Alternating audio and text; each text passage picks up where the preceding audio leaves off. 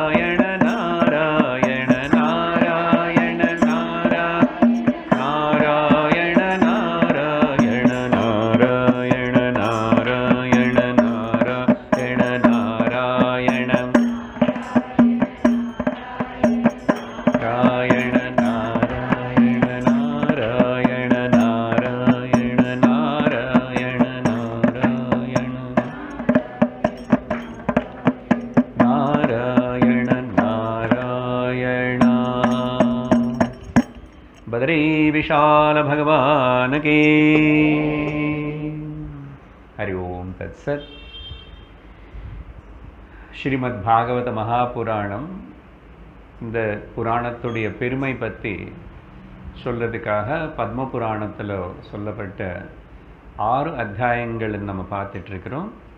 இதில் வந்து கடைசி கதை கடந்த வாரம் வரைக்கும் பார்த்தது வந்து ஆத்மதேவரனை பிராமணர் அந்த பிராமணருக்கு குழந்தை ரொம்ப காலம் இல்லை. அப்புறம் ஒரு ருஷியுடைய அனுகிரகத்தினால குழந்தை பிறக்கும் அப்படின்னு சொல்லிட்டு ஆசைப்பட்டார். அந்த ருஷி வந்து ஒரு பழம் பிரசாதமாக கொடுத்தாரு.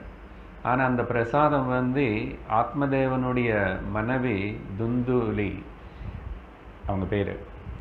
அவங்க சாப்பிடலை. ஏமாத்திட்டு இவர் ஊருக்கு போயிருக்காரு. இவங்க சாப்பிடுவாங்க. கொஞ்சம் நாளைக்குள்ளே குழந்தை பிறக்கும் அப்படியெல்லாம் நினச்சிட்டு அவர் ஊருக்கு போயிட்டார். பணம் சம்பாதிக்கிறதுக்கு ஊர் போயிட்டார். பிராமணர். இந்த அம்மா அந்த பழத்தினை சாப்பிடாம பசுமாடுக்கு போட்டுச்சு. பசுமாடு அது சாப்பிட்டுது. அதுக்குள்ள தங்கச்சி இந்த அம்மாவுடைய தங்கச்சி வந்தாங்க. அவங்க கர்ப்பவத்தை இருக்கிறதுனால அந்த அம்மாவுக்கு பிறந்த குழந்தைனே இந்த அம்மாவுக்கு கொடுத்துட்டேன். அந்த அம்மா ஊர் ஊரு கிளம்பி போயிட்டான் தங்கச்சி. ஸோ அப்போ இப்போ வீட்டில் தங்கச்சி கொடுத்துட்டு போன ஒரு குழந்தை. அதே சமயத்தில் கொஞ்சம் முன்ன பின்ன ஆம், முன்ன இல்லை பின்ன.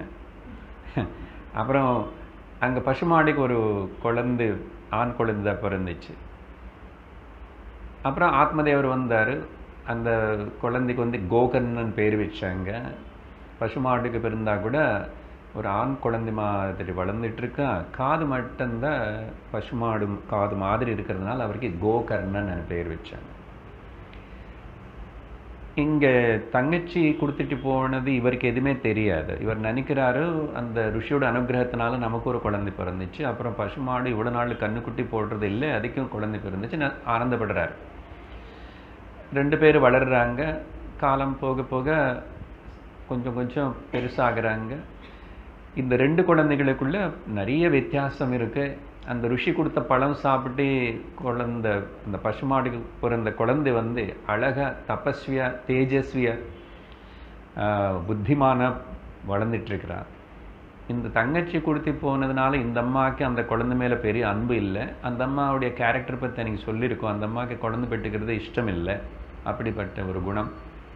அதனால் அந்த குழந்தனை பார்த்துக்கிறது இல்லை கண்டிக்கிறது இல்லை சரியாக வளர்த்துறது இல்லை சரி ஆத்மதேவன் பண்ணலாம் இல்லைன்னு சொன்னால் அவன் இவன் சொல்ல விடமாட்டான் அந்த அம்மா.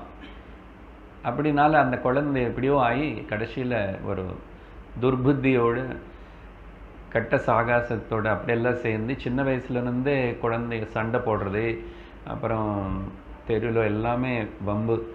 அதனால் நிறைய பிரச்சனை வந்துச்சு. அதுக்கப்புறம் அவனுக்கு கொஞ்சம் கொஞ்சம் பெருசாகி ரெண்டு பேருமே இந்த பக்கம் இவன் வந்து ரொம்ப நிஷ்ட நியமத்தோடு அவனு எல்லா பக்தி படிக்கிறது எல்லாம் செய்கிறான் அதுக்கப்புறம் அந்த யுக்த வயசு வந்ததுக்கப்புறம் கொஞ்சம் கொஞ்சம் எல்லா கட்ட பழக்கங்கள் வந்து அந்த அந்த பையனுக்கு வந்து துந்துக்காரின்னு பேர் வச்சாங்க.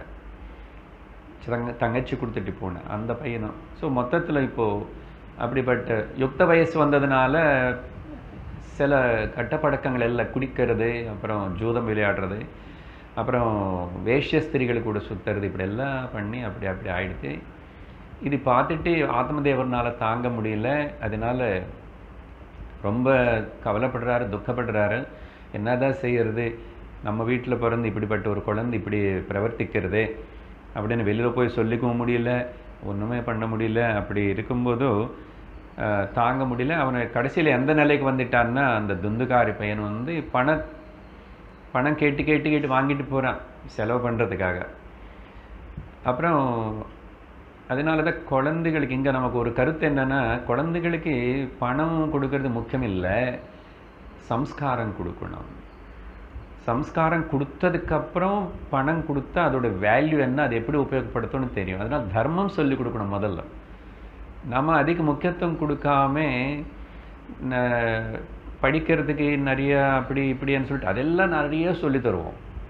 ஏதோ கொஞ்சம் மட்டும் இந்த நல்ல பழக்கங்கள் ஏதோ கொஞ்சம் பண்ணுறோம் இந்த சொல்லிக் கொடுக்குற கொஞ்சம் நல்ல பழக்கங்கள் வந்து அது சும்மா மேலோட்டமாக சொல்லி கொடுத்தா அது வேலை பண்ணாது. அவங்களுக்கு உள்ள ஆழமாக போய் இப்போ எது சொல்கிறோமோ நம்ம அது நம்ம பண்ணணும். தாய் தந்தை வீட்டில் குழந்தை பதினாலு வயசு பதிமூணு வயசு அந்த டீனேஜுக்குள்ளே போகிற வரைக்கும் அஞ்சு வயசுல சொல்லி கொடுக்குற ஆரம்பிச்ச சின்ன சின்ன விஷயங்கள் எல்லாம் அம்மா அப்பா பண்றாங்க. தினந்தோறும் பண்றாங்க. அப்படின்னு குழந்தை பார்த்து பதிமூணு வயசு வரைக்கும் வளர்ந்தா அதுக்கு நீ ஸ்லோகம் சொல்லித்தா பக்தி சொல்லித்தா பூஜை சொல்லித்தா இப்படி ஏதாவது சொல்லு. இதெல்லாமே நல்ல அம்மா அப்பா பண்றாங்க. அம்மா அப்பா வந்து ஒருக்காகவும் அது உடலை நான் எனக்கு என்ன சொல்லி கொடுக்குறாங்களோ முக்கியமானது இதெல்லாம் அவங்க படிச்சாங்களோ இல்லையோ என்ன ஸ்கூலுக்கு அனுப்புகிறாங்க அப்போ ஆஃபீஸ் போகிற அம்மா வீட்டில் இருக்கட்டும்.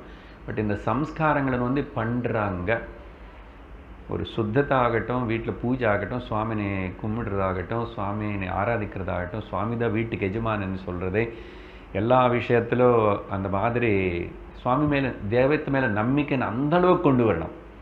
மேலோட்டமாக கொண்டு வந்த நம்பிக்கை பத்தாது. நம்ம அனுசரிச்சு காட்டலைன்னா அந்த குழந்தைக்கு ஹிருதயத்தில் இம்ப்ரெஷன் ஏற்படாது பாவம் ஏற்படாது. அதனால நமக்கும் அந்த அளவுக்கு ரொம்ப முக்கியத்துவம் இல்லை. நம்ம பக்தியை மேலோட்டமாக எப்படியோ இருக்கு.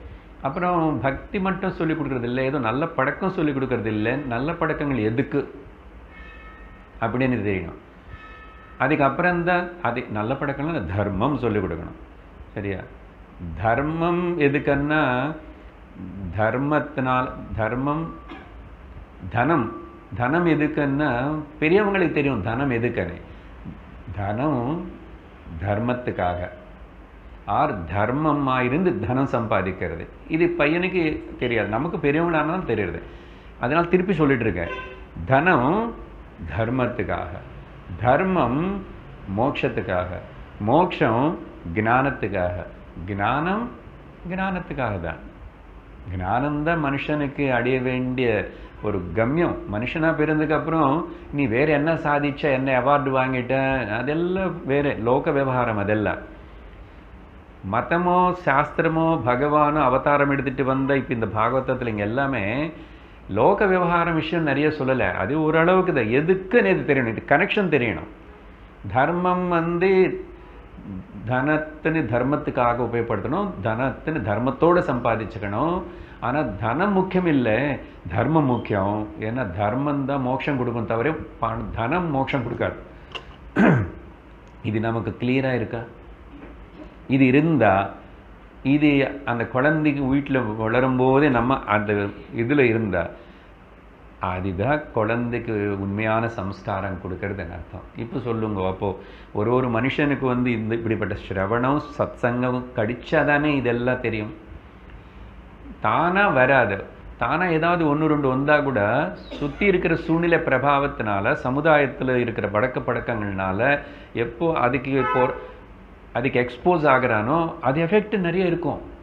அதனால தான் தர்மம் தெரிஞ்சவங்களும் நல்லதுன்னு தெரிஞ்சவங்களுக்கு கூட நல்லவங்கள இருக்க முடியல இல்லை ஏன்னா சோஷியல் மீடியா எஃபெக்ட் இப்போ சோஷியல் மீடியான்னு சொல்லணும். சொசைட்டி எஃபெக்ட்னு சொல்லணும். இருக்கிறதா இல்லையா? இது இப்படி இருந்த ஆத்தியாத்மிக வாழ்க்கைக்கு லாய்க்கு இல்லை.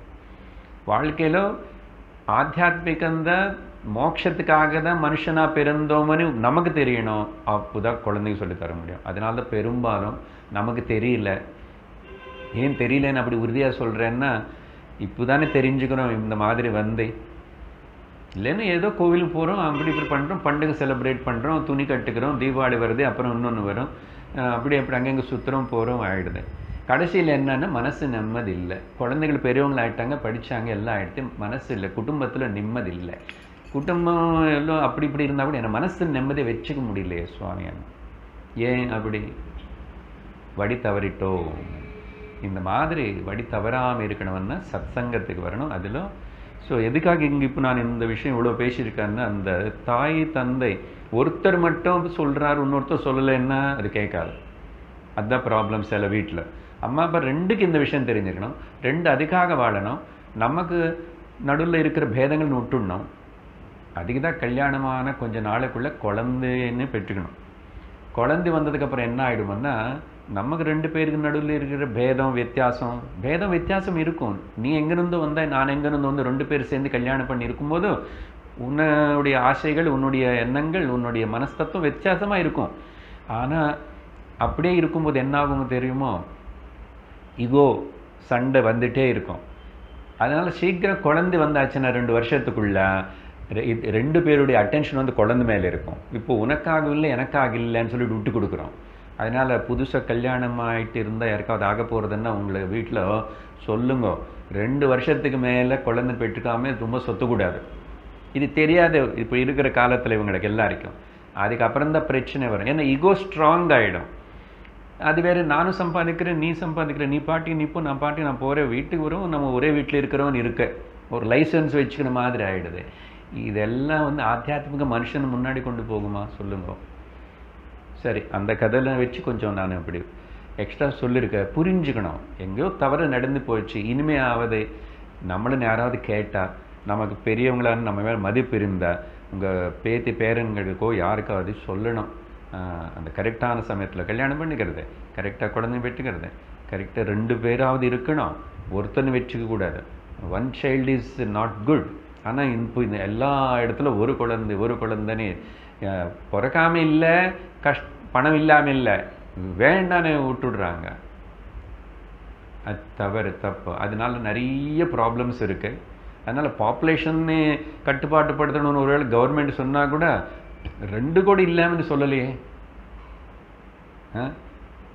நம்ம இருவர் நமக்கு இருவர் தானே முதல்ல ஸ்லோகன் போட்டிருந்தாங்க. அது ஏதறது இல்லை இப்போ காணும் அதையும் போயிடுச்சு. நம்ம இருவர் நமக்கு ஒருவர். நாம் இருவரே போதும் நீ நான் உனக்கு நான் உனக்கு நான் நீ எனக்குன்னு சொல்லிட்டு நமக்கு எதுக்கு குழந்தைன்னா நம்மளே குழந்தைகள் நமக்கு எதுக்கு குழந்தைன்னா? இந்த போக்கு நல்லதில்லை. சரி இப்போது அந்த கஷ்டத்தினால இவர் ஒன்றும் சொல்லிக்க முடியல செய்யல. தலை தூக்க முடியல வெளியில் போக முடியல அப்படி இருக்குனால ரொம்ப கவலைப்பட்டு தாங்க முடியும் அடிக்க வந்துட்டான் அந்த பையனை. பணம் வாங்கிட்டு போனான்னு பரவாயில்ல கடைசியில் அதுதானே ஆகும். பணத்துக்காக அந்த வயசு அந்த சமயத்தில் தான் என்னமோ பேசுவோம் என்னமோ செய்வோம் கேர் பண்ண மாட்டோம் நிர்லட்சம் பண்ணுறோம் எல்லாருமே ரொம்ப கேவலப்படுத்திட்டு அது பந்து ஆகட்டும் வீட்டில் உறவு ஆகட்டும் அந்த பண விஷயம் வந்து அப்போது அந்த ஒரு வயசு அந்த வயசில் வந்து இ- அகங்காரம் அப்படி ஆட்டும்.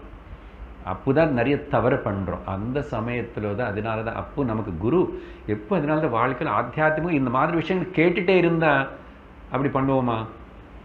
உள்ள தெரியும் இல்லை கொஞ்ச நேரம் கேட்டாவே ஏன் நான் இப்படி பண்ணியிருக்கேன்? நானே இப்படி இருக்கேன்னு சொல்லிட்டு திரும்புறதுக்கு உணர் என்ன எல்லாருக்கும் நல்லவங்களை இருக்கிறதுன்னு விரும்புகிறாங்க வேணுமனு கெட்டவங்களை ஆகிறது இல்லை இப்படியும் ஆயிடுறான். சரி அதனால் கேட்கணும்.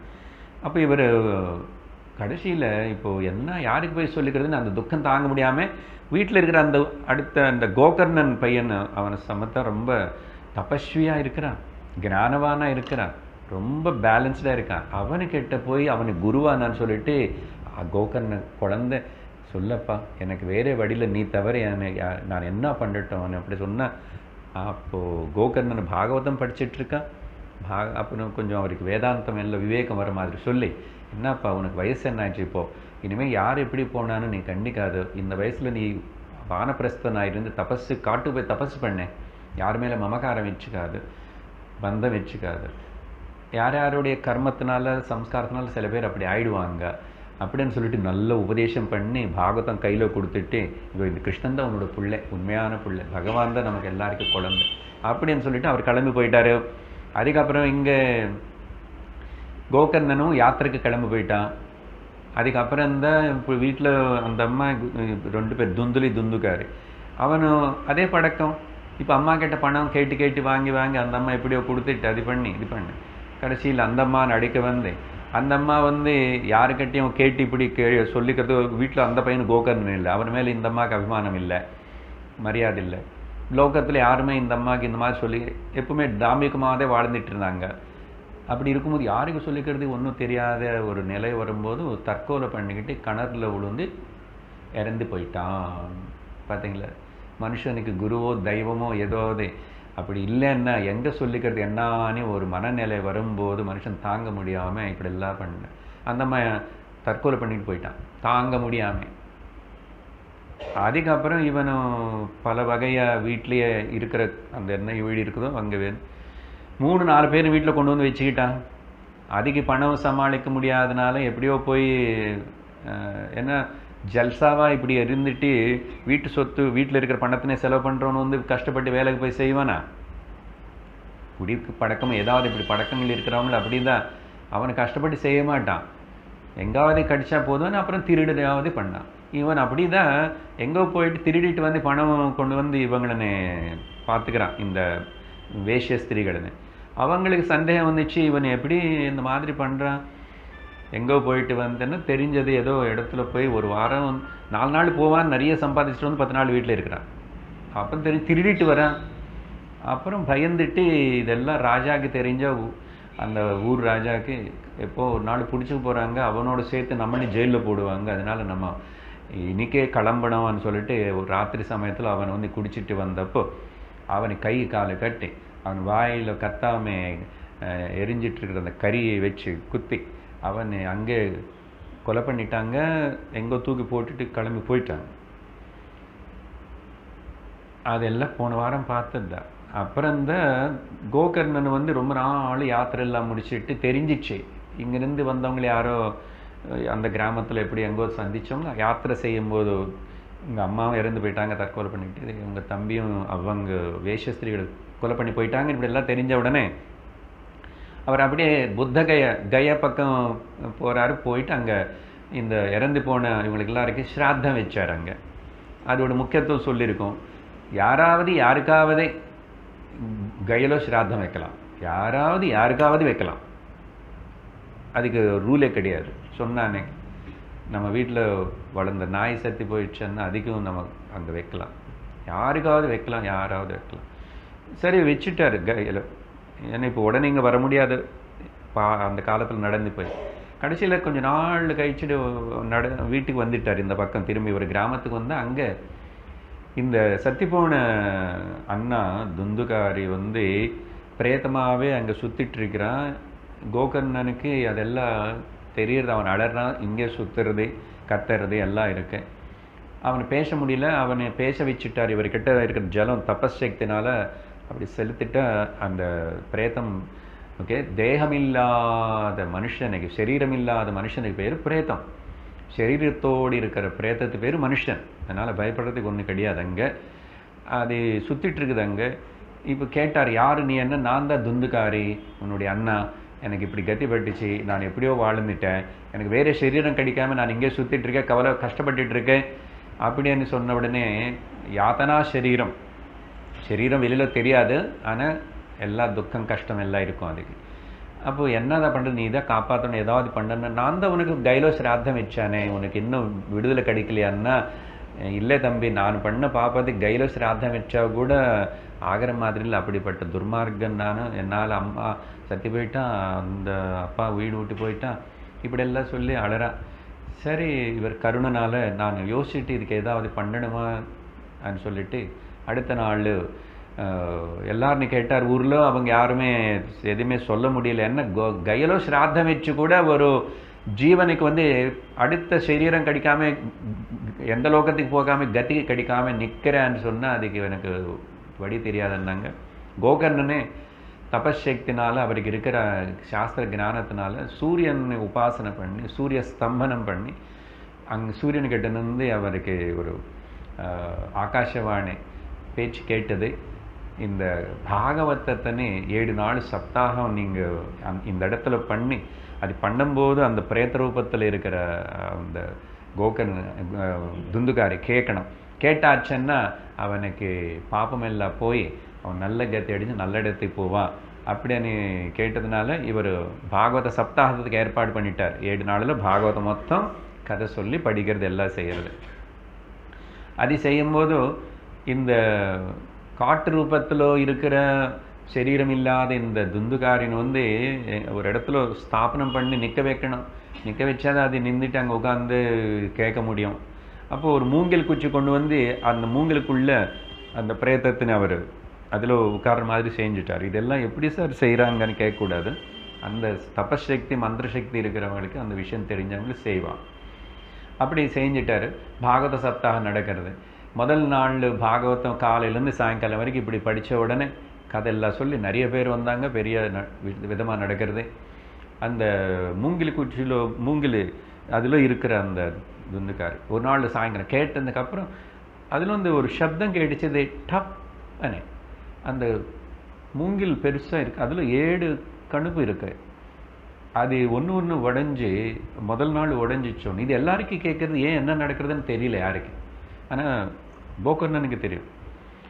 அப்படி ரெண்டாவது நாள் மூணாவது நாள் அப்படி ஏழாவது நாள் சாக பாகவதம் முடிஞ்சு மத்தியானம் ஆகிறதுக்குள்ளே ஏழு கணுப்பு எல்லா ஜாயிண்ட்ஸ் பிரேக் ஆகி அதில் வந்து அதில் உட்கார்ந்துருக்கிற அந்த துந்துக்காரி பிரேத்தம் அழகான ஒரு திவ்யமான சரீரம் எடுத்துக்கிட்டு முன்னாடி வந்து நிற்கிறான் அப்போவே தேகம் எப்படி அந்த தேகம்னா விஷ்ணுடைய தூத்த மாதிரி இருக்கார் பார்க்கறதுக்கு விஷ்ணு மாதிரி அந்த தேகம் வேஷம் எல்லாம் அப்படி.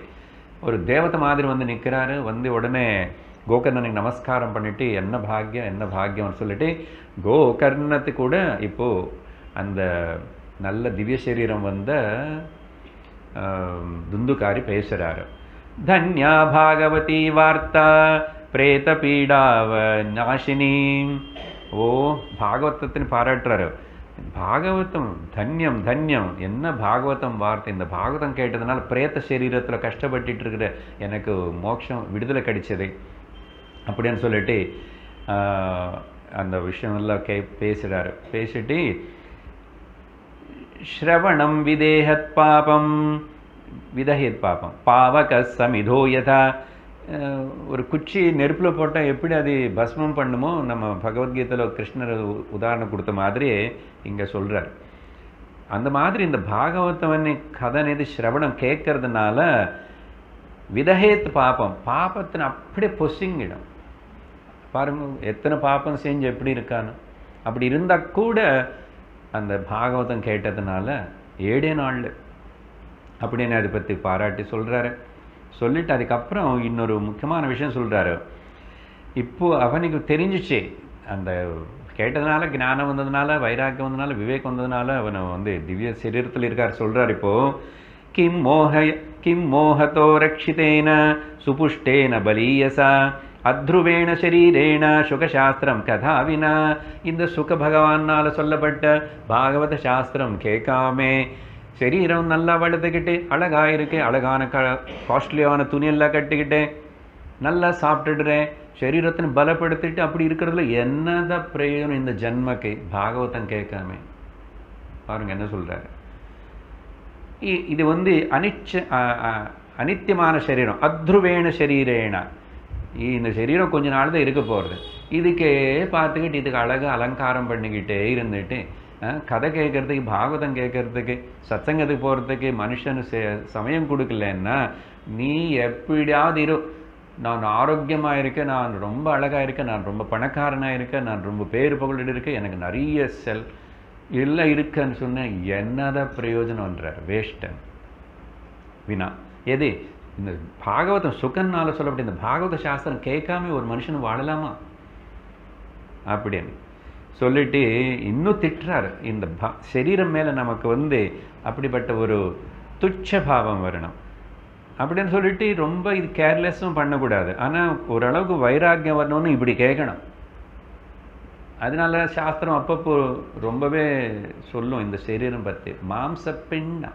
கொஞ்சம் கீரிப்பார். பாரு உள்ள ஏதாவது அழகா இருக்குமா? உள்ளே இருக்கிறது ஏதாவது அழகா இருக்கான்னு கேட்குறோம். அந்த அளவுக்கு சொல்லாத இது மேலே கொஞ்சம் நமக்கு அது வந்து பற்று இல்லாமல் இருக்கும். இல்லைன்னா பிறந்த பிறந்து சத்தி போகிற வரைக்கும் இந்த சரீரம் சரீரம் சரீரம். நீ சரீரம் இல்லை.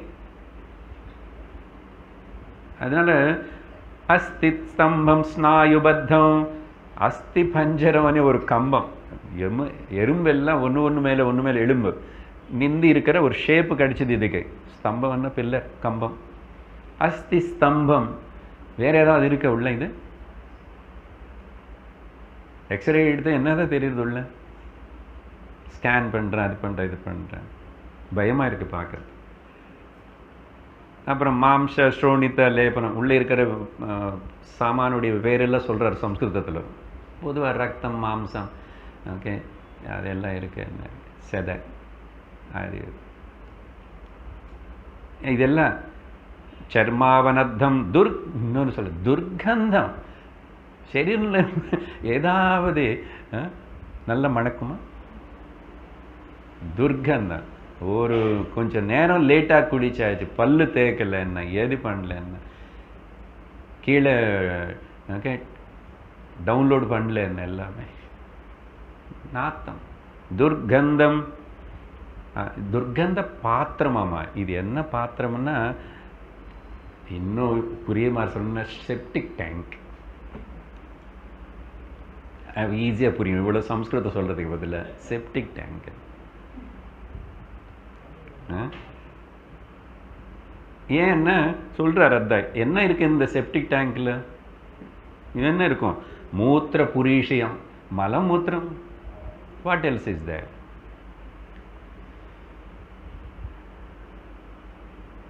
அதுக்கப்புறம் சரி அதில் ஞாபகம் வச்சுக்கிறது இல்லை. அதனால் ஞாபகம் இருக்கிறது இல்லை ஏமாந்து போகிறோம் வெளியில் போகிறோம் ஜரா சோக விபாகார்த்தம்.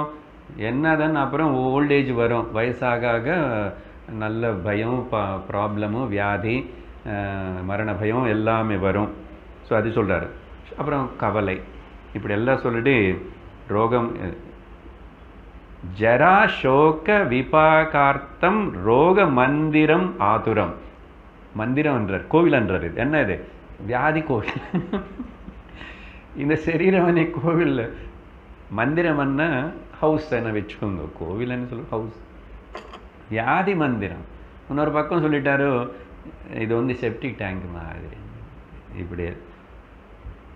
யார் சொல்கிறா போன ஜென்மத்தில் எப்படியோ இருந்த இப்போ ஞானம் வந்ததுக்கப்புறம் அதனால் ஒரு நாளைக்கு நமக்கு இந்த ஞானம் வந்து தான் ஆகணும். அப்படின்னு சொல்லிட்டு அதுக்கப்புறம் இறந்து போன ஏதாவதுன்னா என்ன? எரிச்சிடுவாங்க பொ- புதைச்சிடுவாங்க எல்லா கிருமிகள் எல்லாம் வந்து சாப்பிட்டுட்டு சரீரம் இது மொத்தம் மண்ணில் கலந்து போயிடும். பூச்சி பூச்சியாக மண்ணில் போயிடும். இப்படி எல்லாம் சொல்லிட்டு அதனால் இந்த சரி அவளை சொன்னதுக்கப்புறம்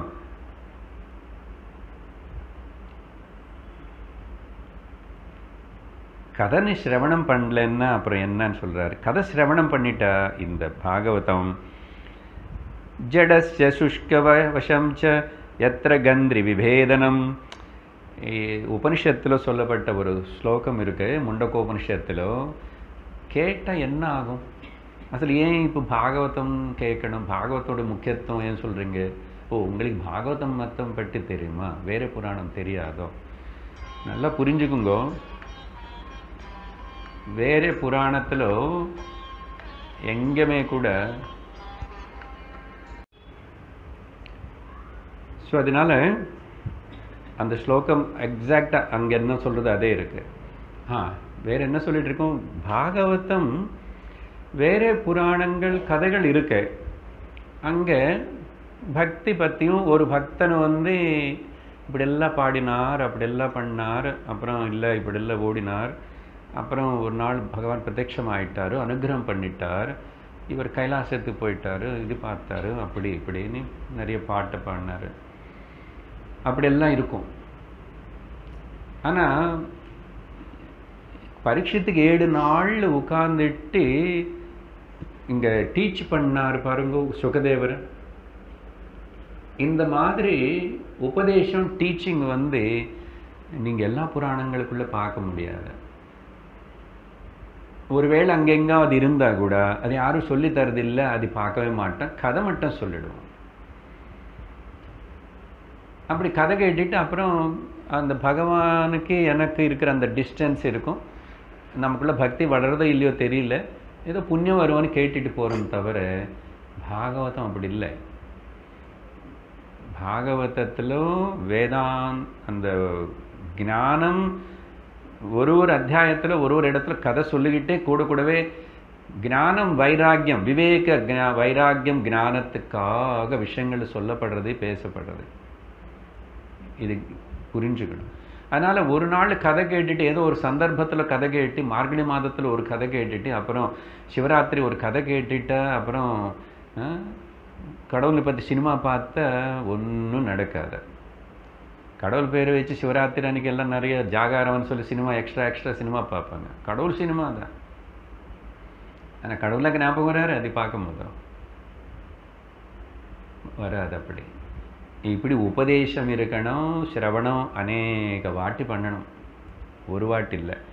ஸோ அந்த மாதிரி இங்கே கேட்க கேட்க என்ன ஆகும்னா இப்போ அவனுக்கு என்ன ஆயிடுச்சோ துந்துகாரிக்கு அது விஷயம் சொல்லிக்கிறாரு भिद्यते हृदयग्रन्थिः छिद्यन्ते सर्वसंशयाः क्षीयन्ते चास्य कर्माणि தஸ்மின் திருஷ்டே பராவரேன்னு முண்டகோபனிஷத்து அந்த இடத்துல மட்டும் இங்க சப்தாக ஸ்ரவணே குருதே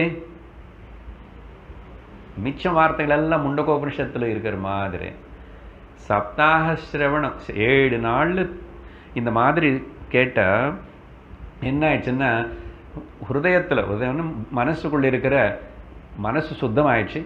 மனசுல இருக்கிற சர்வ சந்தேகங்கள் அங்க அக்ஞானம்னு ஒரு முடி போட்டி இருக்கு அழுக்கு இருக்கிறது. அது நீக்கப்பட்டது. வித்யந்தேன்னா உடைக்கப்பட்டதுன்னு அர்த்தம்? அப்புறம் சம்சயங்கள் எல்லாம் காணாம போயிடுச்சு. அதுக்கப்புறம் கர்மம் ஏதாவது இன்னும் பிடிச்சிக்குமா? கர்மத்தோட பந்தம் அது இருக்கும்னா சர்வ க்ஷீயந்தே வச்சாச க சர்வ கர்மாணி. பகவத்கீதையில் கிருஷ்ணர் சொன்ன மாதிரி இனிமேல் உனக்கு கர்மம் ஒட்டுக்காது கர்மத்தினால உனக்கு அடுத்த ஜென்மம் வரப்போகிறது இல்லை இப்படிப்பட்ட ஞானம் ஏற்பட்ட. அப்படியான்னு சொல்லிட்டு பாராட்டுறாரு. சொன்னதுக்கப்புறம் இப்போது ஆயிடுச்சு நமஸ்காரம் பண்ண அவர் இப்படி பேசிட்டு இருக்கும்போதே அழகான ஒரு விமானம் ஆகாயத்தில் ஒன்று வருது. திரும்பி கதை சொல்லணும். ஆகாயத்தில் அப்படி விமானம் வருமா? நல்ல விமானம் வந்துச்சாமா. அதில் விஷ்ணு தூத்தர்கள் வந்தாங்க. இவர் எப்படி இருக்காரோ இங்கே கோ இந்த துந்துக்காரிக்கு இப்படி இப்போ விஷ்ணு தூத்த மாதிரி விஷம் வந்துச்சுல அதே மாதிரி இன்னும் நாலு பேர் வந்துட்டு இவர் நீ வாங்க வாங்க விமானத்தில் ஏறுங்கன்னு சொல்லிட்டு என்ன எதுக்கான கோ கோலோகம் கூட்டிகிட்டு போகிறதுக்கு வைகுண்டமும் கோலோகமும் கிருஷ்ணலோகம் ஏன்னா பக் பாகவதம் கேட்டீங்க இல்லையா?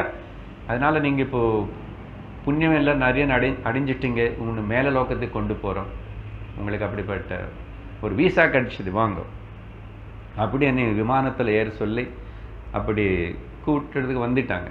வந்த உடனே இது பார்க்குறாரு வந்துட்டு அவர்னு மட்டும் கூட்டிகிட்டு போகிற மாதிரி கோகர்ணன் வந்து நில்லுங்க நில்லுங்க.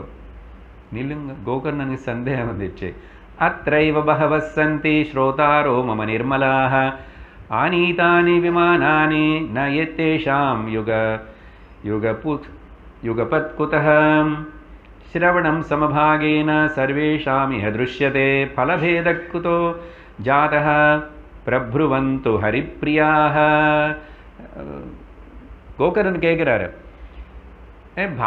படித்து சொன்னது நான் எத்தனை பேர் नानं கேட்டாங்க இங்கே பாருங்கோ இவர்னு மட்டும் கூட்டிட்டு போறீங்கன்னு சந்தேகம் வந்துச்சு கேட்குறாரு அப்போ அதுக்கு இவங்க சொல்றாங்க ஹரிப்பிரியாகன்னு ஹரிதாசர்கள் வந்த தூதர்கள் சொல்றாங்க ஹரிதாசா ஊச்சுஹோ. நல்ல கவனமா கேட்டுக்கணும். என்ன பாகவத்தோட பெருமை இப்போ எவ்வளோ சொல்லிட்டோம்? ஏழு நாள் கேட்டால் இப்படி ஆயிட்டாரா? சார் நானும் ஏதோ ஒரு ஏழு நாள் அப்புறம் கேட்குறேனே சில பேருக்கு இப்படி எல்லாம் இருக்கும். நான் இன்னும் ரொம்ப நாள் வாழ போகிறேன் ஏதோ ஒரு ஏழு நாளில் கேட்டு முடிச்சுடுக்கிறேனே அதுக்குள்ளே மிச்சம் இல்லை விவகாரம் நிறைய இருக்க பண்ணியிருக்கமேன்னுப்பா இல்லை இப்போ இங்கே பார் என்ன சொல்கிறாருன்னு இதையும் கேட்கணும் ஸ்ரவணஸ்ய விபேதேன பலபேதோத்திர சம்ஸ்திதா கேட்கறதுல வித்தியாசம் இருக்கு எல்லாரும் ஒரே மாதிரி கேட்கறதில்லை எல்லாரும் இங்கே தான் இருக்காங்க. ஆனால் மனசிங் இல்லை. மனசு இருந்தா கூட கேட்டா கூட என்னமோ புரிஞ்சிச்சு என்னமோ ஆயிடுச்சு. அதனால சொல்றோம் ஐ ஆம் here but I am not hearing இங்க இருந்த போகாது. கேட்கணும் கேட்டான்னு போகாது. அப்ப என்னதான் சொல்றீங்க? ஸ்ரவண செவிபேதேனா. அந்த ஸ்ரவணத்திலேயே வித்தியாசம் இருக்கு கோகர்ணா. அதனால பலத்திலையும் பேதம் இருக்கும்.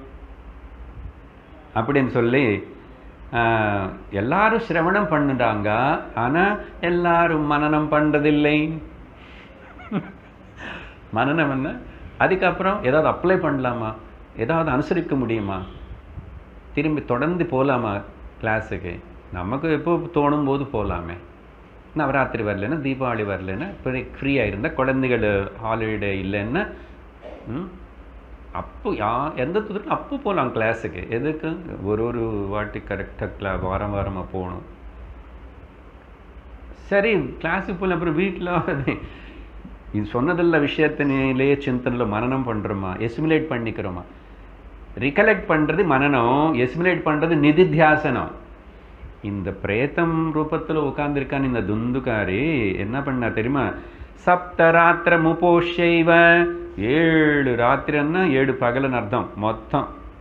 பகலெல்லாம் கேட்குறான் அந்த ஏழு நாள் செவன் டேஸ் ராத்திரி உபவாசமாக இருக்கானாமா உபவாசமாக இருக்கிறது என்ன சார் பிரேத்தம் என்ன சாப்பிடும் என்னமோ நமக்கு என்ன தெரியும் இங்கே ஆனால் உபோஷைவ எதுவுமே அப்படி என்ன அர்த்தம் தெரியுமா உபவாசம்னு சொன்னால் சாப்பிட்றது மட்டும் இல்லை எந்த இந்திரிய எந்த புலங்களுக்கும் ஞானேந்திரியத்துக்கு வெளியில் விடல வேலை கொடுக்கல. நம்ம உபவாசம்னா நமக்கு என்ன புரியும்னா வயித்துல ஒன்றும் போடாமல் இருந்தால் சரி. அப்புறம் காதுக்கு நிறைய போடுவோம். காதுனால நிறைய கேட்போம் அதெல்லாம் செய்வோம். அப்புறம் காதுக்கு கண்ணுக்கு அப்பப்போ டிவிக்கு முன்னாடி உட்காரு உபவாசம் இருந்தால் டிவிக்கு முன்னாடி உட்காரு டிவி பார்க்கலன்னு அசல் வாழ்க்கை நடக்குமா? நாளே போகாது. இப்படி. ஸோ பலது எல்லாத்தையும் வாய்க்கு வாய் பேசிகிட்டே இருக்கும். தேவையில்லை. உபவாசம்னு என்ன அர்த்தம் தெரியுமா? எல்லா புலங்களுக்கும் பூட்டணும். பூட்டு போட்டுட்டு இருக்கணும். பகவத் மனசுன்னு பகவத் சிந்தனையிலேயே வைக்கணும். ம். சுலபமாக என்ன?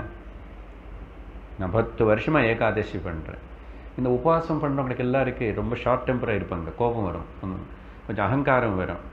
என்ன உபவாசம் நான் பத்து வருஷமாக ஏகாதசி பண்ணுறேன் பத்து வருஷமாக ஷஷ்டி பண்ணுறேன் அது பண்ணுறேன்னு ஒரு அகங்காரம் இருக்கும். தேவர் நாட் சாந்தமாக அப்படி நிம்மதி இருக்க மாட்டாங்க. நிறைய இந்த பூஜைகள் பண்ணுறவங்க கூட பாருங்க.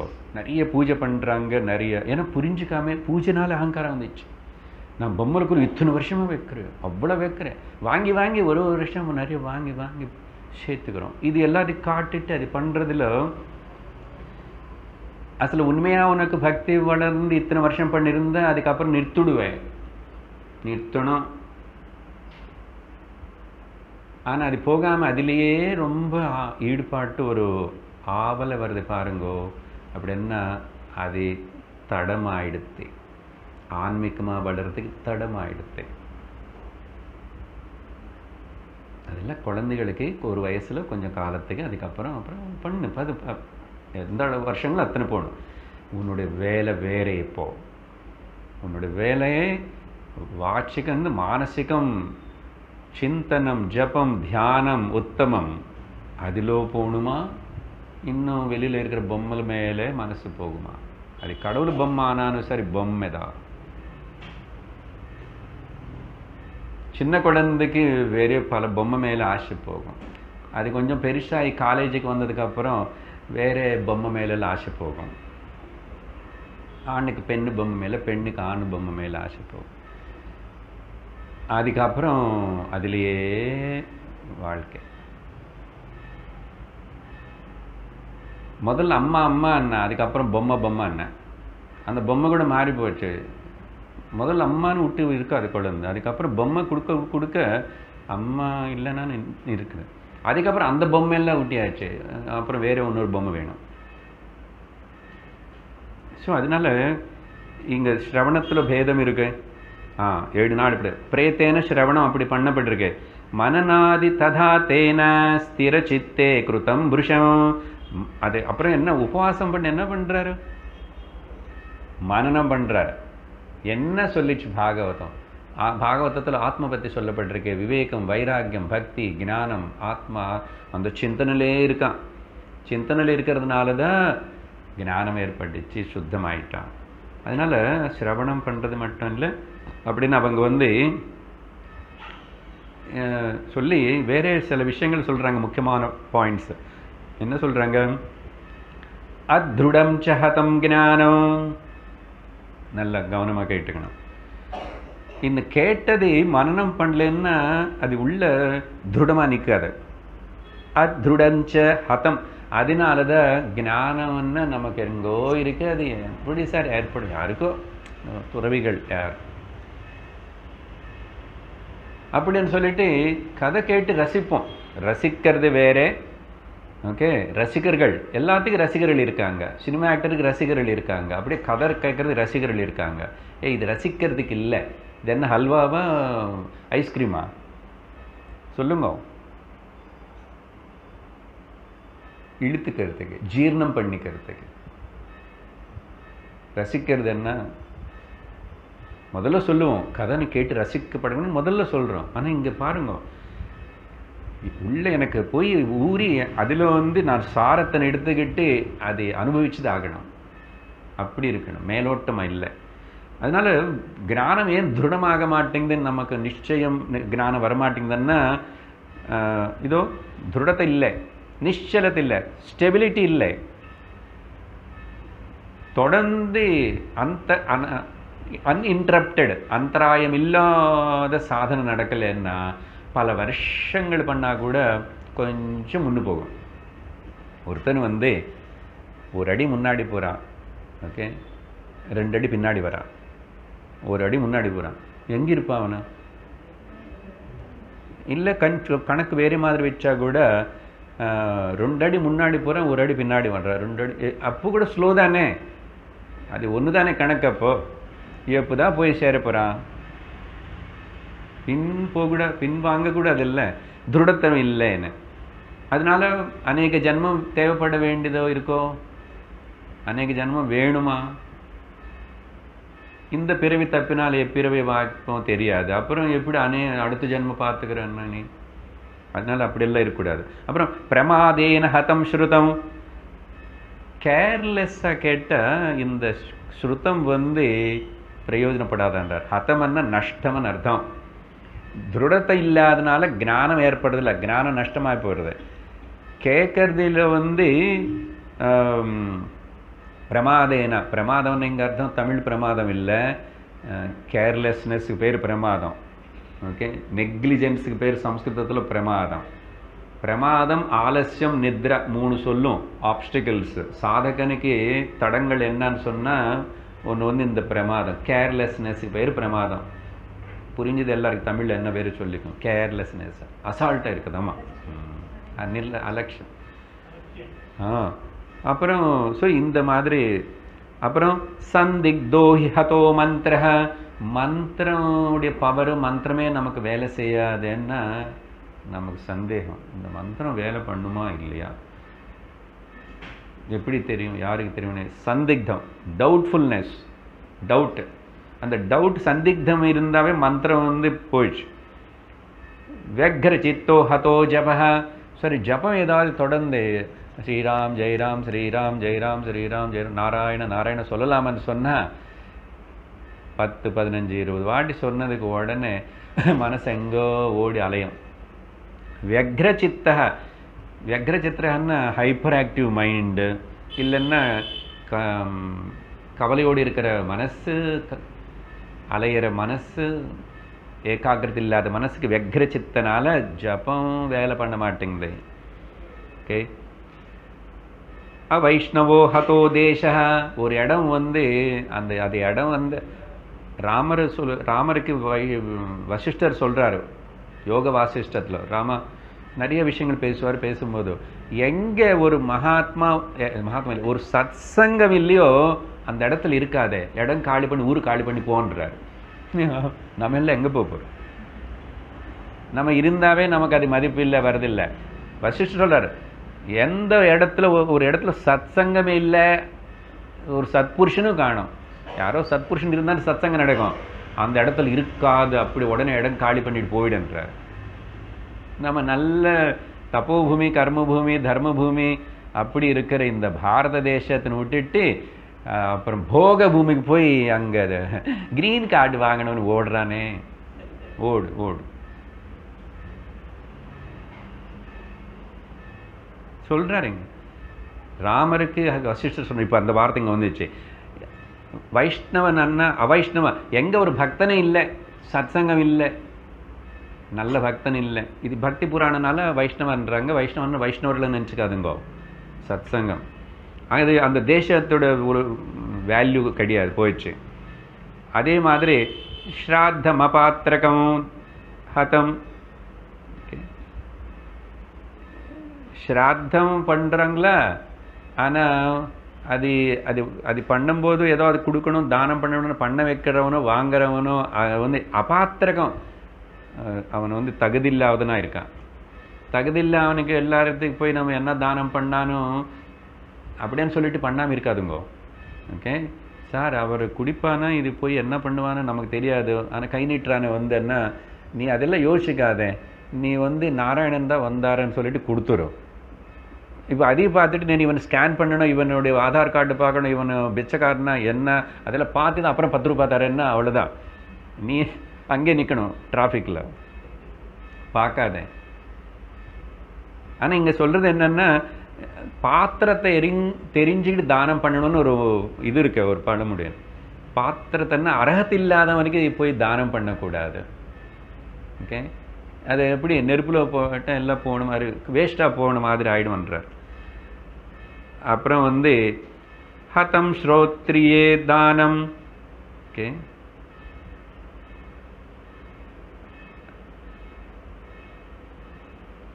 அப்புறம் வந்து அசுரோத்ரியே இங்கே வந்து ஸ்ராத்தம் பற்றி மேலே சொன்னது.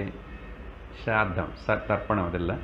இங்கே தான் இப்போ திரும்பி தானம் பற்றி சொல்லும் போது ஸ்ரோத்ரிய ஒருத்தனை வந்து தானம் யாருக்கு பண்ணுறன்னா சாஸ்திரம் படித்தவனுக்கு தானம் பண்ண. அதுக்கு தான் பிராமணனுக்கு தானம் பண்ணனேது பொதுவாக சொல்கிறது அது தப்பாக புரிஞ்சிட்டுக்கு அப்புறம் எதுக்கு அவங்களுக்கு கொடுக்கணும்? அவங்களுக்கு பணம் இருக்குல்லன்னு கேள்ல. பிராமணன் வேதம் படித்ததுனால மதிப்பு இருக்குது அதுக்கு கொடுன்னு இங்கே அதான் சொல்கிறார் ஸ்ரோத்ரிய. படிக்காத சாஸ்திரம் படிக்காதவனுக்கு தானம் கொடுக்கறதுனால தானத்துடைய வேல்யூம் போயிடுச்சுன்னா ஸோ இப்படி பல விஷயங்கள் எல்லாம் சொல்லி அப்புறம் அனாச்சாரமாக இருக்கிறவனுக்கு தானம் கொடுத்தா இப்படி சரி இப்படி எல்லாம் பல விஷயங்கள் சொல்லி கடைசியில் இப்படி எல்லாம் அவங்க சொல்லிட்டாங்க. அப்புறம் அவனை ரதத்தில் உட்கார வச்சுக்கிட்டு கூட்டிகிட்டு போயிட்டாங்க. அப்படின்னு அர்த்தம் ஆ போகும்போது நீங்கள் எல்லாரும் திரும்பி கேளுங்கோ. இன்னொரு வாட்டி படிச்சுக்கோங்க பாகவதம். நீங்கள் உங்களையும் கூட்டிகிட்டு போகிறோம் அப்புறம் வெயிட்டிங் லிஸ்ட்டில் இருக்கேன்னு சொல்லிட்டு போயிட்டாங்க அவங்க. கோகர்ணன் விடுவானா என்ன? உடனே ஏ எல்லாரும் உட்காருங்கோ. சார் என்ன? ஏழு மணிக்கு கிளாஸ் விட மாட்டீங்களா? திரும்பி எட்டரை மணி வரைக்குமா? அவர் சொன்னார் கோகர்ணன் நானும் திரும்பி பாகவதம் ஏழு நாள் பண்ண போகிறேன் யாருக்கு தெம்பி இருக்கோ உட்காருங்கோ. யாரெல்லாம் வைகுண்ட போகணும்? அமேனு. ஞான பக்தி வைராக்கியங்களை வளர்த்துக்கணும்னா வெயிட் பண்ணுங்க. தூக்கம் வருதுன்னா போய் தூங்கிடுங்க. பசிக்கிறவங்க போங்கன்னார். உடனே திரும்பி ரெண்டாவது வாட்டி பாகவதம் படிக்க தொடங்கிட்டார். அந்த பாகவதம் படிக்கிற அந்த கோகர்ணனுடைய தபசக்தி பக்தி ஸ்ரத்தா அதனால தானே இப்போ பிரேத்தத்துக்கு விடுதலை கிடைச்சது. அவர் சங்கல்பம் என்னென்னா இங்கே கேட்குற எல்லாருக்கும் அப்படிப்பட்ட ஒரு அமைப்பு அப்படி அந்த பாக்கியம் வரணும்னு சங்கல்பத்தோட பண்ண தொடங்கிட்டாரு. பண்ணி முடிக்கும்போது அந்த கடைசி நாள் வந்து பகவான் விஷ்ணுவே வந்து அங்கே சாட்சா்காரம் ஆவிர்வம் ஆயிட்டாராமா இங்கே சொல்லப்படுது. விமானாய் சகப விஷ்ணு மட்டும் இல்லை நிறைய வேறு தேவதைகள் அவருடைய பார்ஷதர்கள் எல்லாரும் நிறைய விமானம் எடுத்துகிட்டு வந்தாங்க இந்த வாட்டி. எதுக்குன்னு நிறைய பேர் கூட்டிகிட்டு போகணும் அப்புறம் சீட் இல்லைன்னு சொல்லக்கூடாது. அப்படி வந்து விமான பக்தைஷ்ட. பகவான் அவருடைய பக்தாடு கூட சேர்ந்து வேறு வேறு பக்தாடு கூட்டிகிட்டு வந்தார். பல விமானங்கள் வந்தார். ஹரிஹி ஆவிர்பூப அங்கே ஆவிர்பவிச்சிட்டாரம்மா பகவான் ஹரி. அப்புறம் வந்த உடனே ஜெய சப்தா தத்ராசன் பக பகவஸ்ததா.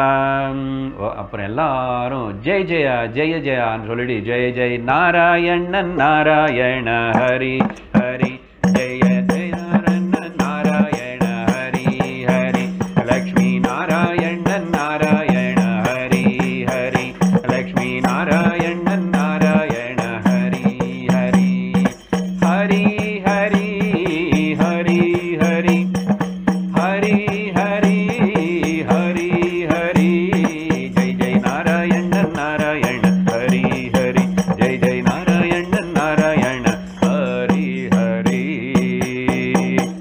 சர்வத்திர கோவிந்த நாம சங்கீர்த்தனம்.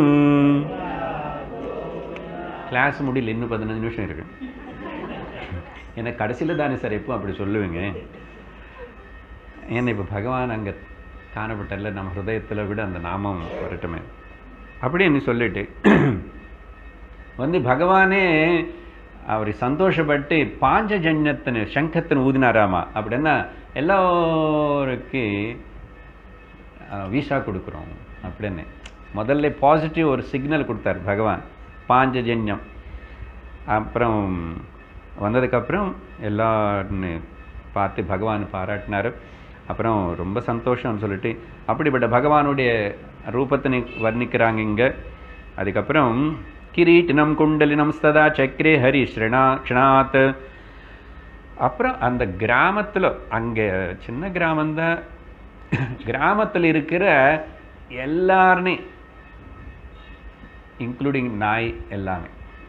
எல்லாத்தையும் எல்லாரும் ஏறுங்க ஏறுங்க எல்லா விமானத்தில் ஏறுங்கன்னு சொல்லிட்டு செண்டாலன் இன்னொன்று என்னன்னா கிராமத்தில் இருக்கிறவங்கள எல்லாரும் என்னன்னாங்க பாகவதத்துக்கு எல்லாரும் வந்தாங்களே இல்லையோ அந்த கிராமத்தில் பாகவதம் நடந்ததுனால அந்த கிராமத்துமே புனிதமாகி போச்சு.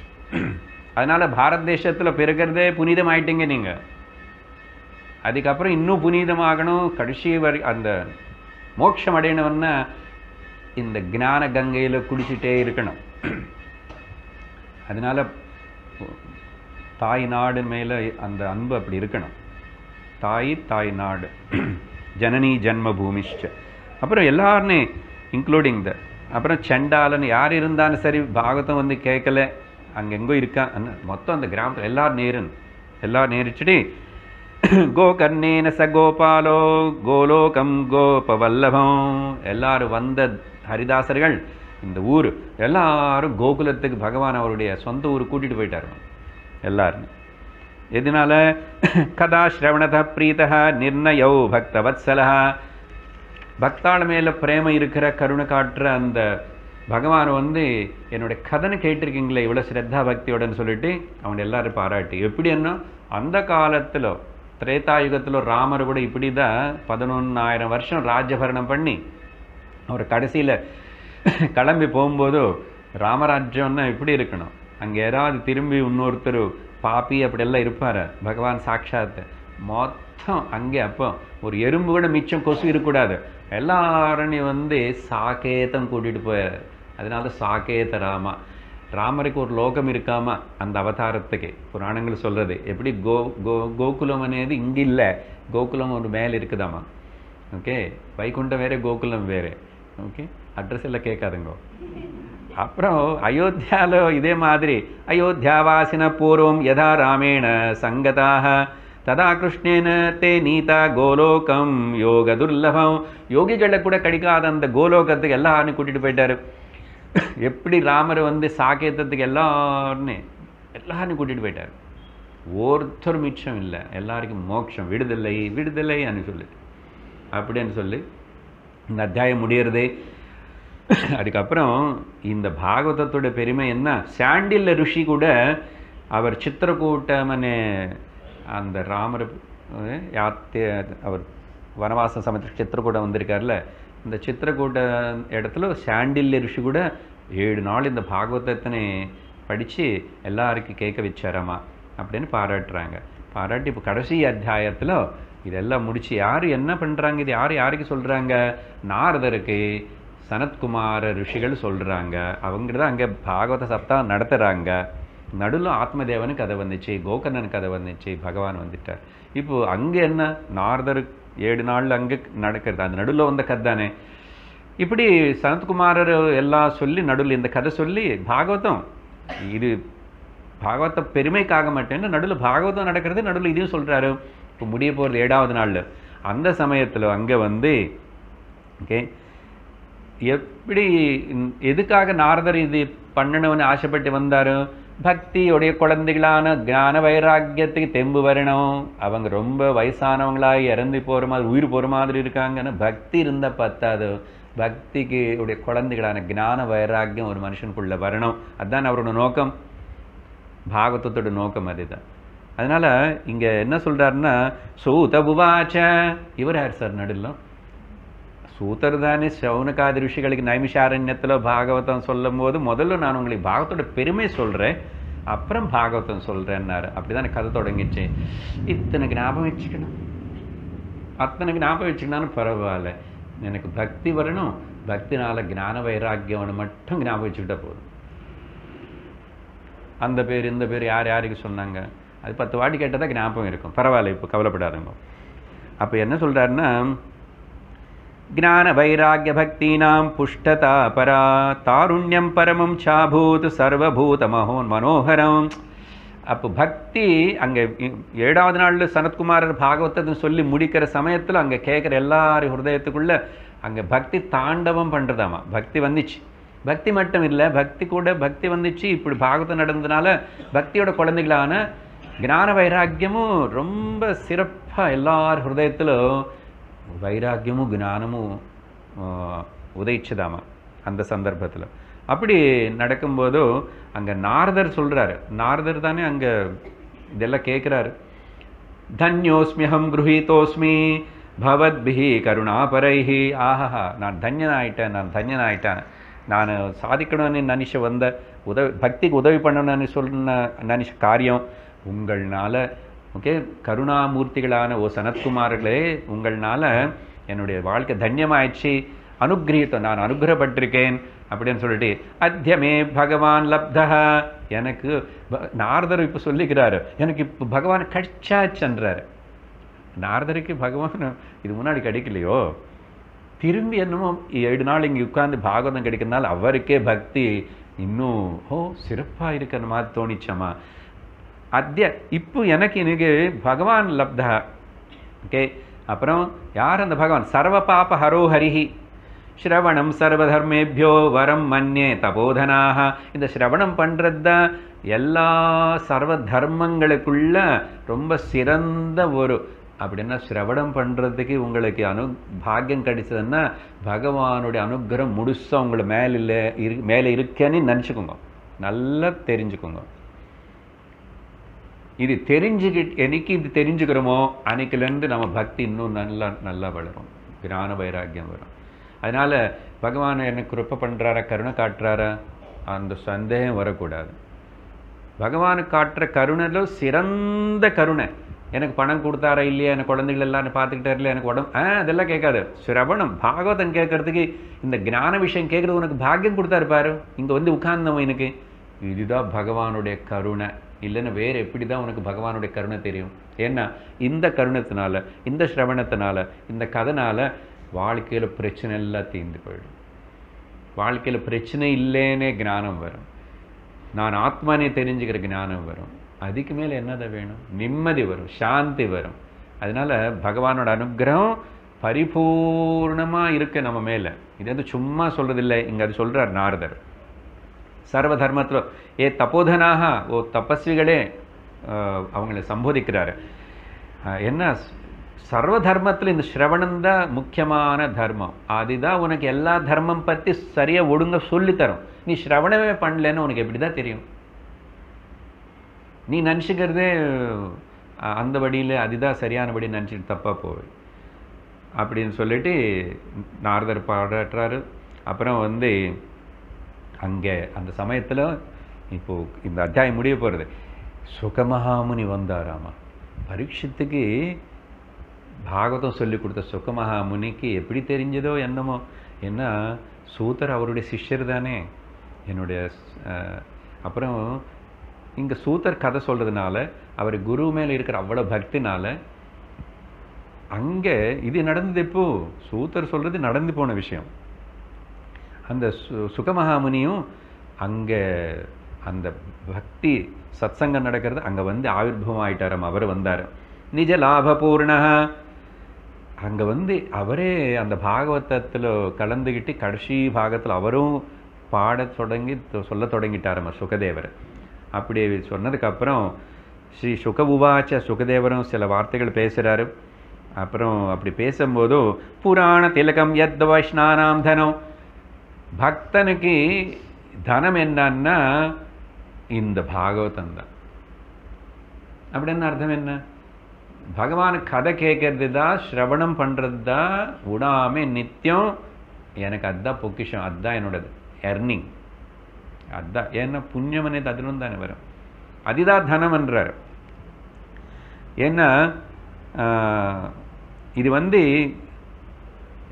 இதில் வந்து எஸ்மின் பாரமஹம்ஸ்யாம் ஏவம் அமலம் ஞானம் பரம் கீயத்தை இதில் சுத்தமான ஒரு கல்மஷம் இல்லாத ஒரு தவறு இல்லாத கன்ஃபியூஷனே இல்லாத எந்த குறை இல்லாத ஒரு ஞான விஷயம் பரமமான ஞான விஷயத்திலோ பாடப்பட்டிருக்கு சொல்லப்பட்டிருக்குன்றார் சுகர் சொல்கிறார் சுகர் யார் அவதூத அவர் தரிசனமே கிடைக்காது ஆ, சாதாரண பக்தர் இல்லை அவர் அவதூதன்னா ஞானிகளிலே சிறந்த ஞானி குருநாம் குரு அப்படிப்பட்ட சுகர் சொல்கிறாரு இதில் சொல்லப்பட்ட விஷயம். அதுதான் நான் முதல்ல சொன்னேன். வேறு எல்லா புராணங்களுக்குள்ளே இவ்வளோ விஷயம் இருக்காது. கதை அங்கங்கே இருக்கும். சிலது ஏதோ நல்ல ஸ்தோத்திரங்கள் வரும்.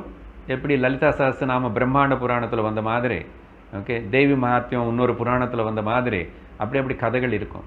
ஆனால் அதில் இருக்கிற சாரத்தனை கடைசியில் நமக்கு வந்து இந்த பக்தி ஞான வைராக்கியத்துக்குள்ளே கொண்டு வரலன்னா நீ தேவி மகாத்தியம் படிச்சானு தேவி நாராயணம் படிச்சானு சரி அப்புறம் வாழ்க்கையில பக்தியில முன்னேறலை ஞான வைராக்கியத்தில் முன்னேறலைன்னு சொன்னா அதெல்லாம் இவ்வளவுதான் பிரயோஜனப்படும். பிரயோஜனப்படாதுன்னு சொல்லலை பட் புரிஞ்சுக்கணும்.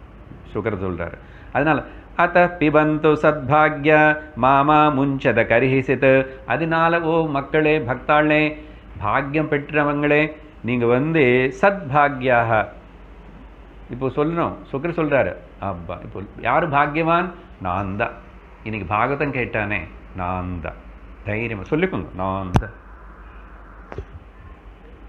அப்புறம் அதனால அப்படிப்பட்ட பாக்கியம் உங்களுக்கு கிடைச்சது இது விடாதுங்கோ மாமா முஞ்சத கரிஹிச்சித்து ஒரு காகம் விடாதுங்கோ ஒரு காகமும் விடாதுங்க விடாதுங்க மாமா விடாது விடாது never. அப்படின்னு சொல்லிட்டார். அப்புறம் திரும்பி சூத உவாச்ச. இப்படி நடந்துட்டு இங்கே பாகவதம் முடிஞ்சது. அங்கே எல்லா சுகர் வந்தார் நாரதர் இருக்காரு பக்தி எல்லாம் இருக்கு. அப்புறம் பகவான் ஸ்ரீமன் நாராயணனு திரும்பி இங்கே பிரத்யட்சமாகிறாரு இப்படிப்பட்ட ஒரு பெரிய சத்சங்கம் கீர்த்தனம் பக்தாள் எல்லாரும் கூடியிருக்காங்கன்னு சொல்லிட்டு. ஆனால் பகவான் ஸ்ரீமன் நாராயண வரத்துக்கு முன்னாடி யார் வந்தாங்க தெரியுமோ? பக்தாள் எல்லாரும் வந்துட்டாங்க. எப்படிப்பட்ட பக்தாள் வந்தாங்க? பிரகலாதஸ்தாலதாரி கரத் தரத் தரலகத்திதா சோத்தவா பிரகலாதன் வந்தாராமா? ஓகே பிரகலாதன் வந்து இந்த தாளம் ஜால்ரா அது பெருசாக இருக்கும். அது வாசிட்டு வராராமா? பிரகலாதன் இருக்காராமா? அப்புறம் வந்து உத்தவர் வந்து இருக்காரு எல்லாரும் சிறந்த பகவானுடைய ஓகே சிரஞ்சீவிகளும் பக்தாள் சிறந்த பக்தாள். அப்புறம் வீணாதாரி. இந்திரன் வந்தார் வீணை வாசிக்கிறாரம்மா இந்திரன். அப்புறம் அர்ஜுனன் வந்தார். அர்ஜுனன் நல்லா பாடுவார் தெரியுமா? அர்ஜுனன். ஸோ நல்லா பாடுறவர் அர்ஜுனன். ஆர்கெஸ்ட்ரா மொத்தம் வந்துச்சுங்க. வந்ததுக்கப்புறம் இப்படி மிருதங்க வாசிக்கிறாங்க அஹ், வீணா வந்து இந்திரன் இல்லை சுரர்ஷி. நாரதர் வீணை வாசிக்கிறாரு இந்திரக வந்து மிருதங்க வாசிக்கிறாராமா? ஜெய ஜெய சுகா சுகராக கீர்த்தத்தே கீர்த்தனே தே குமாராக. திரும்பி எல்லா கீர்த்தனம் நடக்கிறது. எப்படிப்பட்ட கீர்த்தனம் இப்படிப்பட்ட பக்தாள் எல்லாம் இருந்துச்சுன்னா அங்கன்னு அது நம்ம பாடிட்டு காட்ட முடியுமா? ஜெய் ஜெய் நாராயண நாராயண ஹரி ஹரி.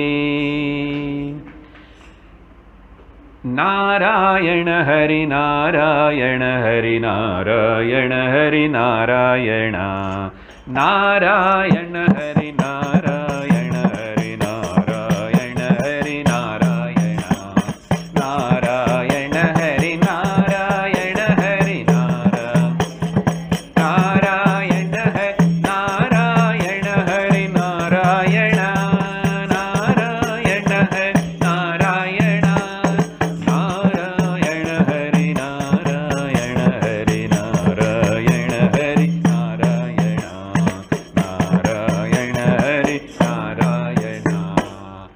நம்ம எப்படி இப்படி பக்தாள் கை கூட தட்ட மாட்டோம்.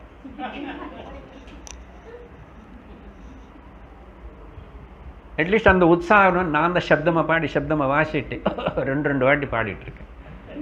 நாராயண ஹரி நாராயண ஹரி எதுக்கு கை கை தட்டுறதுக்கு கூட பக்திக்கு கை தட்டுறதுக்கு தான். லோகத்தில் வேறு யாருக்கும் கை தட்டக்கூடாது. சினிமா ஆக்டருக்கு இன்னும் கட்சிக்காரனுக்கு. தெரிஞ்சுக்கணும். சரி. அப்படி பெரிய கீர்த்தனை நடக்கிறது. இவ்வளோ பக்தாளுடைய சங்கம் பார்த்து அந்த கீர்த்தனை பார்த்து பகவான் ஸ்ரீஹரி அவர் சும்மா இருப்பாரா? நானும் அங்கே போகணுமே. அப்போதான் பகவான் ஸ்ரீஹரி திரும்பி அங்கே ஆவிர்வாவம் ஆயிட்டாரு வந்ததுக்கப்புறம் ஹரி பிரசன்னோபி வச்சோ பிரவி தத் அந்த இடத்துக்கு வந்துட்டு பார்த்து ஆனந்தப்பட்டாரு. எல்லாரும் நமஸ்காரம் பண்ணுறாங்க உள்ள பக்தி பரவசங்களாய் கண்ணில் ஆனந்த பாஷ்பங்களை வர மேனு சிலுக்கு எல்லா பக்தாளும் வந்து பகவானை பார்த்துட்டு அப்படியே கை கட்டி நிற்கிறாங்க சைலண்ட் ஆயிட்டாங்க எல்லாம் அப்போ பகவான் வந்து எல்லாரையும் பார்த்துட்டு அவருடைய கருணா நேத்திரங்கள்னால எனக்கு ரொம்ப சந்தோஷம் ரொம்ப ஆனந்தம் அதனால் உங்களை எல்லாருமேல எனக்கு ரொம்ப பிரீத்தி ஏற்பட்டு நான் உங்களுக்கு ஏதாவது வரம் கொடுக்கணும்னு ஆசைப்படுறேன்றாரு. இந்த பகவான் நாராயண ஹரி வரம் கொடுக்குறேன்னு சொல்கிறது ரொம்ப ரேரு அது ரெண்டு மூணு சந்தர்ப்பங்கள் இது அங்கங்க. அப்போ நீங்கள் புரிஞ்சுக்கணும். அப்படின்னா அந்த இடம் அந்த சந்தர்ப்பம் ரொம்ப சிறந்தது. சும்மா பிரம்மதேவனும் சிவனு கொடுத்த மாதிரி அள்ளி அள்ளி வரம் கொடுக்க மாட்டார். அது பிரகலாதன் விஷயத்தில் பார்த்தோம் துருவன் விஷயத்தில் பார்த்தோம். இங்கே அப்படி கேட்குறார் பகவான் சில ஸ்லோகம் சொல்லி அப்போது எ- என்ன வேணும் உங்களுக்குன்னு கேட்டால் எல்லாரும் சேர்ந்து ஒரே குரல்ல இனிமே எப்பெப்போ எங்கெங்கே இப்படிப்பட்ட ஏழு நாள் பாகவத சப்தாகம் ஏழு நாள் இருக்கோ இல்லையோ ஒரு நாள் நடந்தாலும் பரவாயில்ல. அப்படி வச்சுக்கிறோம். என்ன சில பேர் சந்தேகம் வரும். சார் நீங்கள் ஏழு நாளில் வாரத்துக்கு ஒரு நாள் சொல்கிறீங்க ரெண்டு வருஷமாக சொல்கிறீங்க ஏய் நமக்கு ஒரு நாளிலே முடிஞ்சு போச்சு. இன்னைக்கே பக்தி ஞானம் வைராகம் எல்லாம் வந்துச்சு. இன்றைக்கே நான் ஆத்மனன் தெரிஞ்சுக்கிட்டேன். நானும் பகவான் ஒன்னன் தெரிஞ்சுக்கிட்டேன். எதுக்கு போஸ்ட்போன் பண்ணணும்? ஏழு நாள் கூட வேண்டாம் நமக்கு. ஒன் ஒரு மணி நேரம் தான். சரி எங்கெங்கே எப்பப்பெல்லாம் பாகவத கதை நடக்கிறதோ அந்தந்த இடத்துல உன்னுடைய பக்தாள் எல்லாரும் கூட நீங்கள் அங்கே இருக்கணும். அங்கே பிரசன்னமாகணும். அப்படின்னா எங்கே சார் தர்ஷனம் கொடுக்கலன்னு சொல்லக்கூடாது அதான். இந்த மாம்ச சக்ஷுக்கு பகவானுடைய தரிசனம் கிடைக்காது. நல்லா புரிஞ்சுக்குங்க. யாராவது பக்தன் பார்த்தாருன்னு அவன் இந்த மாம்ச சக்ஷுனால பார்க்கல. அதுக்கப்புறம் அவர் பாடினாத அவன் பாவத்தின்னு வெக்தப்படுத்தினாத அப்புறம் எங்க பார்த்தாரு? ஞான சக்ஷுனால் உள்ள பார்த்தார்.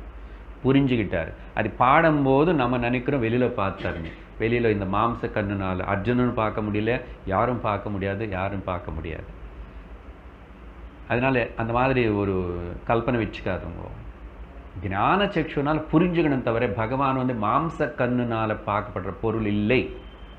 அதான் கருத்து. அப்போது எங்கெங்கெல்லாம் பாகவதம் நடக்கிறதோ அங்கெங்கெல்லாம் எல்லா பக்தாள் அனுகிரகம் பண்ணுறாங்க அந்த அனுகிரகம் அப்படி நம்ம வேலை வருஷிக்க வருஷிக்க வருஷிக்க தான் அநேக ஜன்மங்களில் தவிச்சிட்டு இருக்கிற ஜீவர்களான நம்ம வந்து நான் ஜீவன் இல்லைன்னு சொல்லிட்டு இந்த அக்ஞான கணறு கூப்பத்தில் வந்து வெளியில் வந்துடுவோம் அவங்க எல்லாரோட அனுகிரகம் தான் லோகத்தில் நம்முடைய அநேக மகாத்மர்கள் ஆச்சாரியர்கள் அந்த பாகவதம் லோகத்தில் இதுதான் உயிர் காப்பாற்றுறது எல்லாருமே.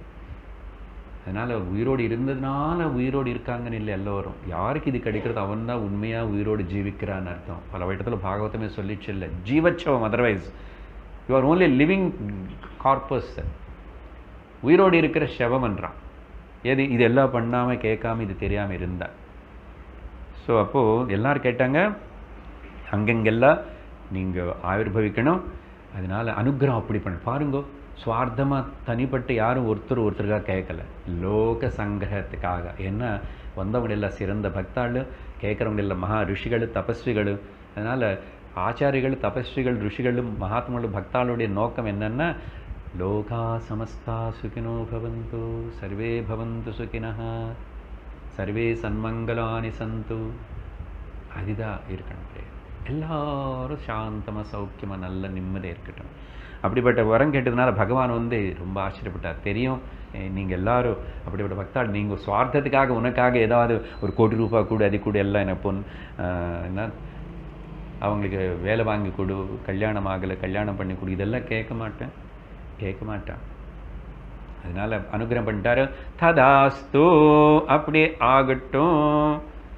அதனால எனக்கு இங்கே இந்த பாகவத் கதனை பகவான் ஸ்ரீமன் நாராயண கூட சேர்ந்து அந் எல்லா பக்த அக்ரகண்யல் பிரஹலாத நாரத பராசர புண்டரீக வியாசாம்பரீஷ சுகசௌனக பீஷ்மதால்பியாம் எல்லா பக்தாள் இங்கே நம்ம ஆசீர்வாதம் பண்ணுறாங்க அந்த பக்திக்கு அவ்வளவு பெருமை இருக்குது அந்த பக்தியே வைராக்கியம் ஞானத்துல எல்லாம் கொண்டு போய் நிக்க வச்சு.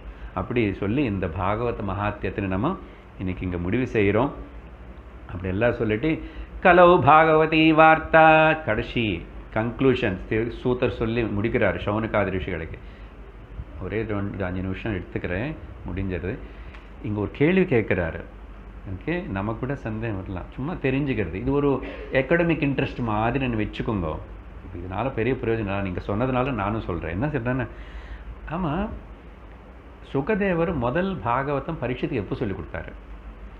அப்புறம் வந்து கோகர்ணன் வந்து அந்த பிரேத்தத்துக்கு எப்போ பாகவதம் சொல்லி கொடுத்தாரு?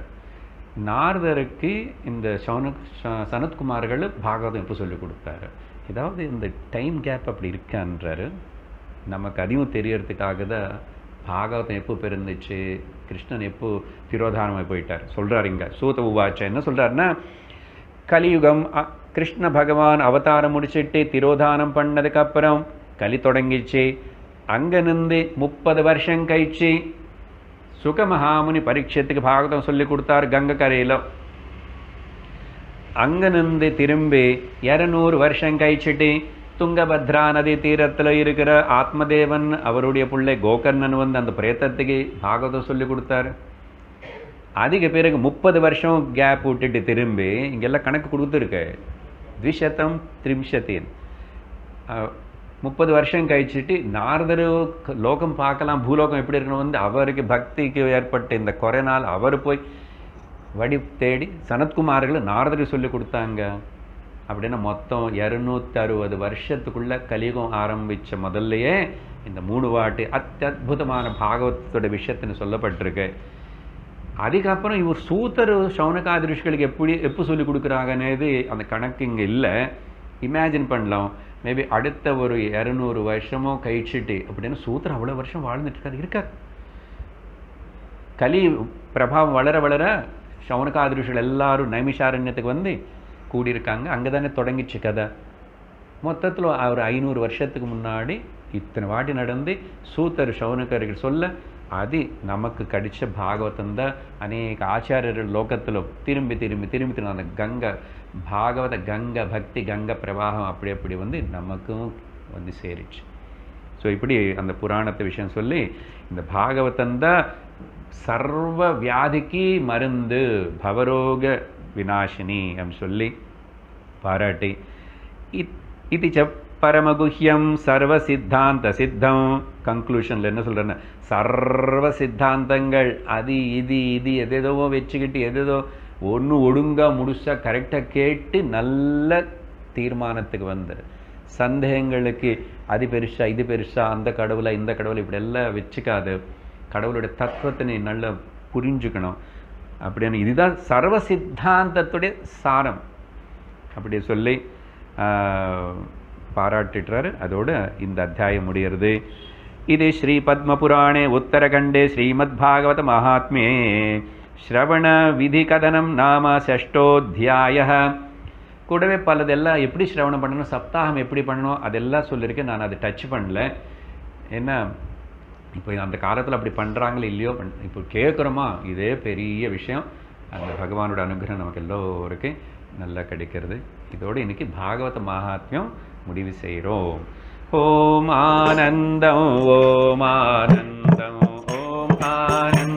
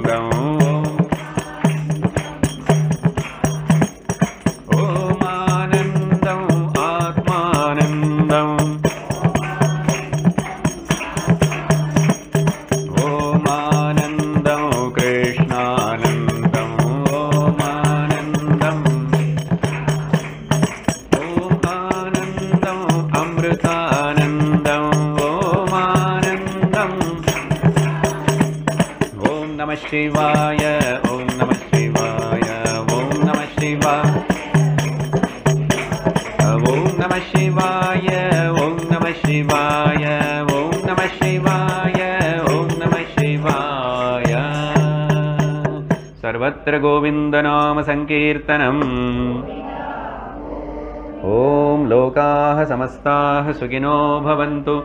लोकाः समस्ताः सुखिनो भवन्तु।